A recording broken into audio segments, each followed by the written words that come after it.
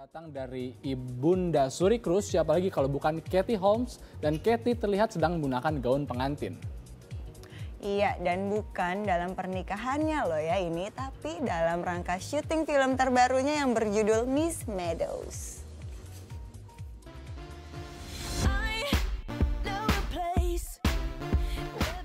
Katie Holmes terlihat sedang menggunakan gaun pengantin.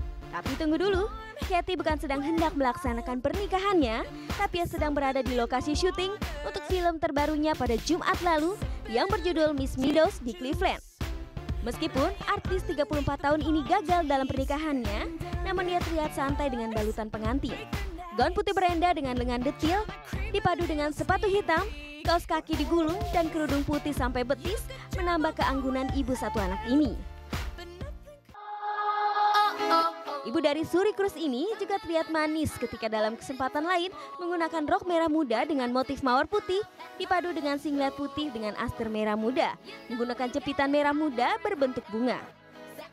Miss Meadows ini disutradarai oleh Karen Lee Hopkins dan sudah mulai syuting pada 6 Agustus lalu dan diperkirakan akan berakhir pada akhir bulan ini. Oke, jadi jangan salah persepsi ya kan. Oh, kirain merit lagi. Cepet banget ya.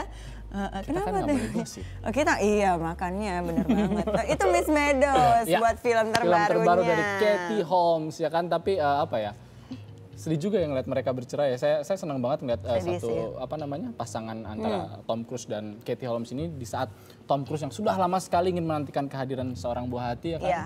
Ternyata setelah lahir eh, Harus Suri pisah Cruise, mereka juga. harus pisah. Tapi nggak apa-apa, Oke. yang penting anaknya Suri Ya. cantik banget, lucu. Loh, menghasilkan anak yang berkualitas loh. Ya. Yang Berkualitas ya. berkualitas, Oke. cantik semuanya loh ini.